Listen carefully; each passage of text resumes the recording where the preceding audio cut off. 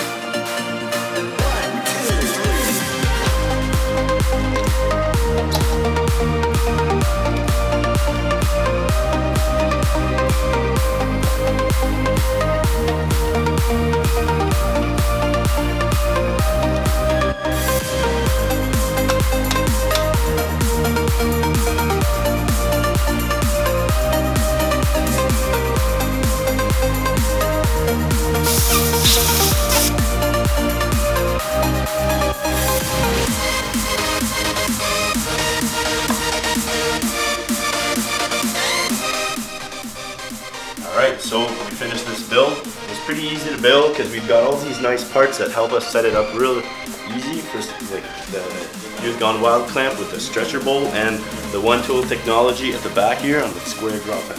So basically, it's really nice. Now let's hear it. Let's see how it sounds the drop. Sounds good to me. I don't know about you, but I'd ride it. I think it looks great. Now, let's weigh it how much.